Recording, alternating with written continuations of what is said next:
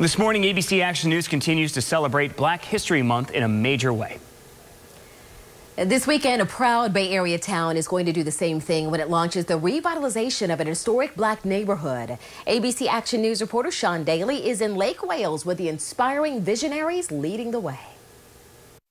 Welcome to Lake Wales, beloved for its oranges and orange juice. And not long ago, beloved for this once vibrant, historically black neighborhood along Lincoln Avenue. Lincoln Avenue actually used to be a really thriving black business district. This street was full of 40 or 50 different businesses that were thriving. Five generations of Sarah Jones's family have lived in Lake Wales. Here, I was actually baptized in the church that's on the corner behind me. She's a lawyer now and wants to open a new office on the lot behind her. The past two decades have been hard on once regal Lincoln Avenue, but all that that's about to change. I'm super, super excited about everything that's going to happen here. Thanks to these visionaries, new business is coming soon, new housing too. But first, says community redevelopment guru Daryl Starling, we're restoring this whole community from an economic development and housing development standpoint. But the first thing that we're going to do is revitalize Lincoln through this mural. This mural, indeed, a lion to be painted on the street by popular Florida artist E.J. Nieves.